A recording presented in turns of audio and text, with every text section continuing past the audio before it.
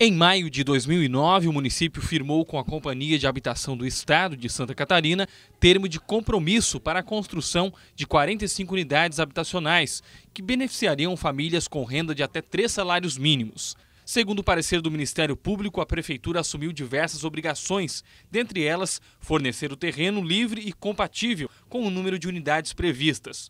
O prazo de entrega era de quatro meses após a liberação da primeira parcela essa já recebida em maio do mesmo ano.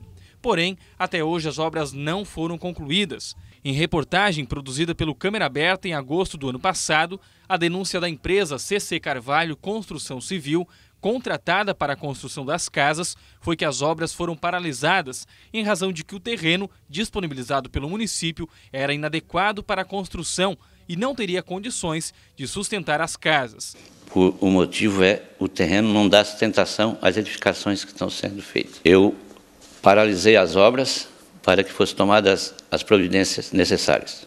O município respondeu na mesma reportagem que a empresa recebeu parte dos valores, mas não cumpriu os prazos e abandonou as obras em julho de 2010. A partir de então, uma nova empresa foi contratada. O compromisso do município foi cumprido.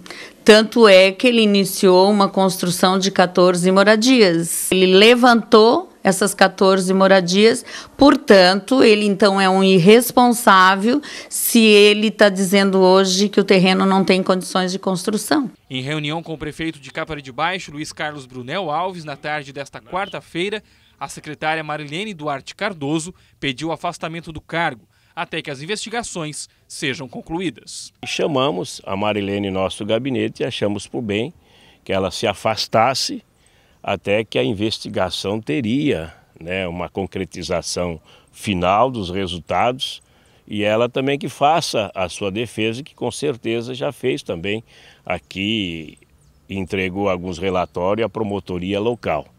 E espero que isso termine né, do lado satisfatório que não venha prejudicar o andamento da construção, que envolve mais de 39 é, famílias que têm a sua habitação bem encaminhada, com novo empreiteiro aqui no município de Capivari.